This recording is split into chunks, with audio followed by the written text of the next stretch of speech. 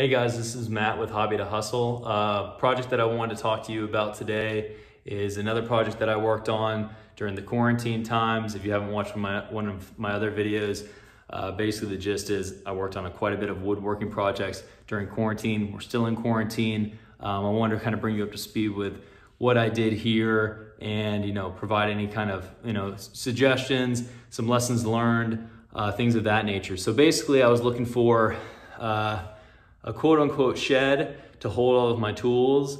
Um, my girlfriend Kaya, she was pretty adamant that she didn't want this thing in the lanai, which is our back porch. Uh, so, you know, she ended up winning. Here it is in our garage.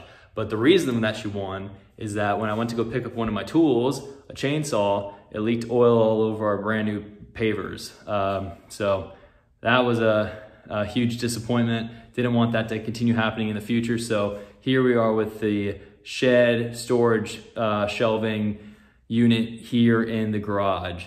So basically the gist of this design is I wanted something that would be able to fit my lawnmower, pressure washer, and wheelbarrow side by side.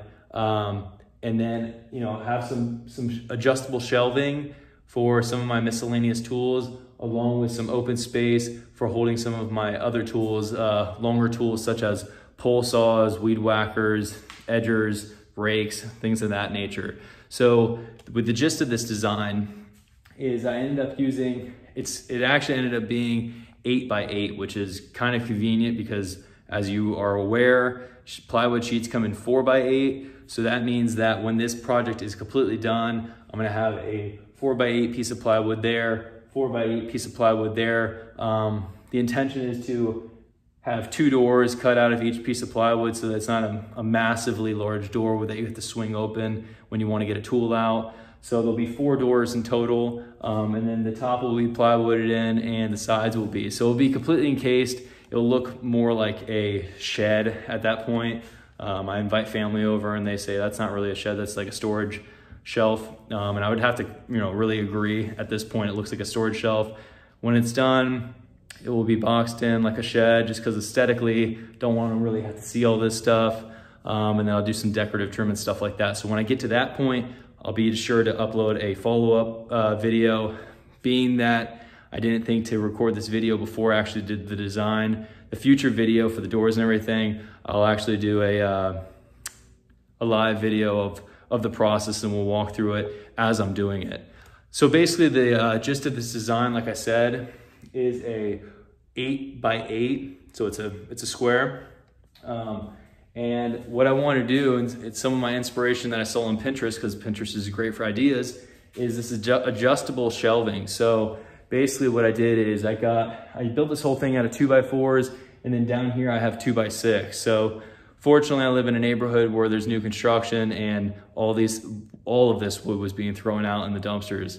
So, you know, I'll pick up one man's trash as another man's treasure. So it was my treasure. Um, use these two by sixes to basically create um, a shelf for each shelf to be able to slide onto. So it's kind of like a lip for the shelf to be able to sit on. Um, the idea was I didn't know what tools were gonna go on each shelf, so I wanted it to be adjustable. So as you can see, I have uh, one, two, three, four, five options to set the height.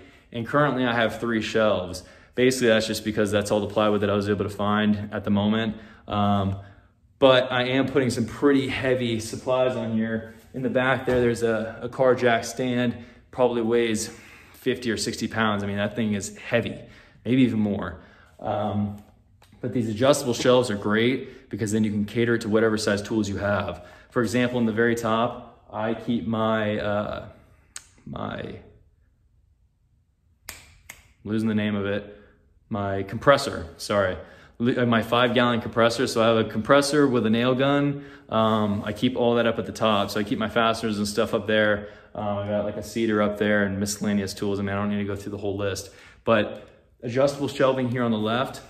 On the right side, and this is still kind of, you know, a work in progress, just want to kind of give an update, but I will give a further update in the future when I, when I uh, put on all the doors and everything like that. Um, on the left side, I wanted to have basically some hooks for electrical um, some miscellaneous screws to keep dust pans for my instance, um, rakes, metal rake, plastic rake, um, some screws for my, my edger and weed whacker attachment. And then on the bottom here, I got my chainsaw, my pole saw, uh, sledgehammer and axe, things of that nature.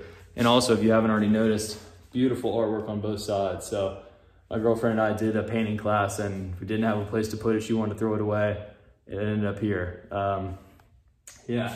So if you have any questions about this design, um, one more thing I wanted to, to add, I did anchor this into the wall. So being that there's a lot of weight on this shelf shed, um, I want to make sure that when I open up the doors, it wasn't going to come falling towards me. So if you're going to do something like this, I would highly suggest anchoring it into your wall. I used three screws and tapped into uh, the cement blocks on the backside. This thing's not going anywhere.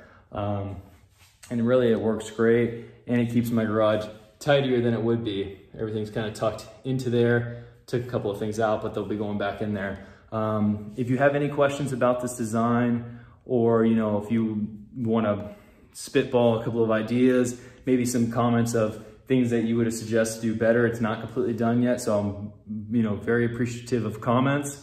Um, but please leave them in the comments below, and I appreciate you tuning in. Thank you.